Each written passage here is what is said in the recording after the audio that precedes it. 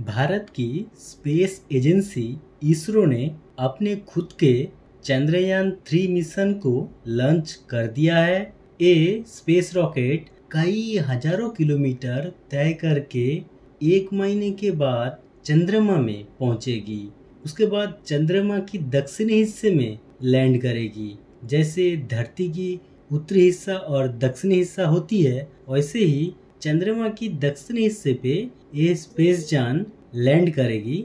आज तक चंद्रमा के अंदर जितने भी मिशन हुए हैं, जितने भी रॉकेट भेजे गए हैं, चाइना, अमेरिका, रसिया द्वारा, वो सारे चंद्रमा के उत्तरी हिस्से पे या उत्तरी और दक्षिणी हिस्से के बीच में, दोनों हिस्से की सेंटर में ज़्यादातर स्पेस जान लैंड किए हैं। आज तक कोई भी स्पेस रॉकेट स्पेस यान दक्षिणी हिस्से पे चंद्रमा की दक्षिणी हिस्से पे लैंड नहीं किए, क्योंकि चंद्रमा की दक्षिणी हिस्से पे लैंड करना एक बहुत ही बड़ी चुनौती भरी काम है, क्योंकि इधर हर टाइम अंधेरा ही रहता है और टेम्परेचर माइनस दो सौ से 250 तक नीचे चला जाता है।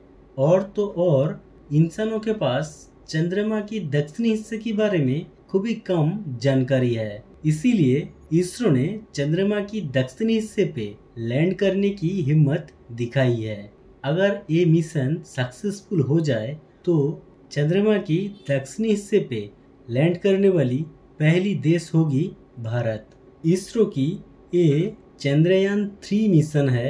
इससे भी पहले चंद्रयान वन और चंद्रयान टू मिशन भेजा गया है। जैसे 2008 में चंद्रयान मिशन वन भेजा गया था, जो चंद्रमा में लैंड किया और चंद्रमा के अंदर पानी है, ये बातें कंफर्म किए और पूरी दुनिया को जानकारी दिए। उसके बाद 2009 में इस लैंडर से, इस रोबोट से संपर्क टूट गई।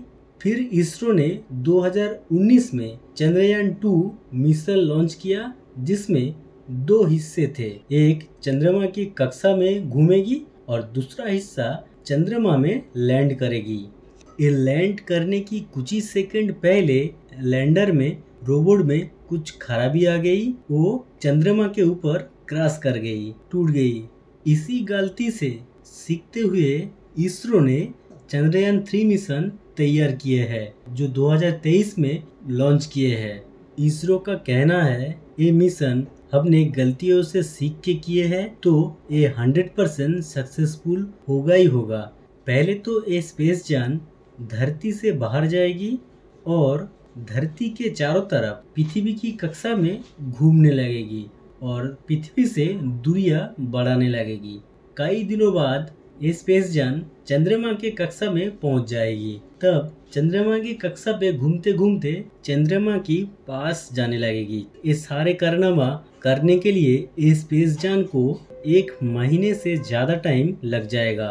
उसके बाद करीबन 23 अगस्त चंद्रमा में लैंड करेगी। जो लैंडर लैंड करेगी, उसके अंदर से छह चक्के वाला एक रोबोट निकलेगा। चंद्रमा की मिट्टी, वेदर, टेम्परेचर और बहुत सारी जानकारी इकट्ठा करेगी और सीधा भारत की सैटेलाइट को, यानी इसरो की सैटेलाइट को भेजेगी। इसमें कहीं भी कोई चूक पूरी मिशन को बर्बाद कर सकती है। लेकिन इसरो कॉन्फिडेंट है। ये मिशन करने के लिए देश का सिर्फ़ 615 करोड़ रुपए खर्च हुई है। आप तो सुने ही होंगे, जितने में हमारे इसरो एक रॉकेट भेज देता है उसमें तो अभी के टाइम हॉलीवुड मूवी भी नहीं बनती। आप यूँ समझ सकते हो, हमारे देश में जितने लोग हैं, हर आदमी अपनी जेब से पाँच रुपए या छह रुपए जमा कर दे तो 615 करोड़ रुपए से भी ज़्यादा रुपए जमा हो जाएगी।